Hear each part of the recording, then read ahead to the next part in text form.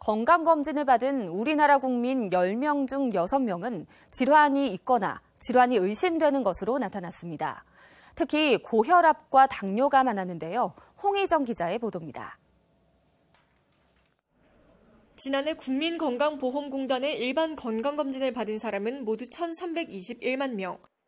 이 중 질환이 있거나 질환이 의심된다고 판정을 받은 비율은 57.2%로 10명 중 6명이 건강 이상을 보인 것으로 나타났습니다. 특히 고혈압과 당뇨병이 많았는데 2차 검진을 통해 당뇨병으로 판정된 비율은 50.1%로 지난 2011년보다 8.8%포인트 높았습니다. 담뱃값 인상 등의 여파로 흡연율은 떨어진 반면 비만율은 증가했습니다.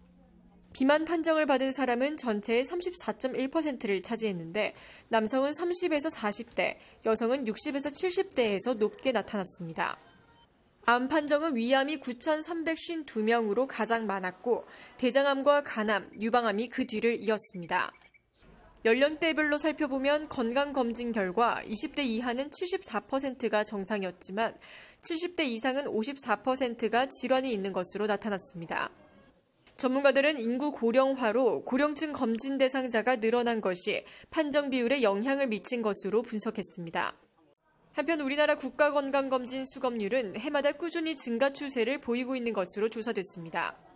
일반 건강검진은 2010년 68.2%에서 2015년 76.1%로 5년 새 7.9%포인트 증가했고 생애 전환기 건강진단은 11.9%포인트, 영유아 건강검진은 19.4%포인트 높아졌습니다.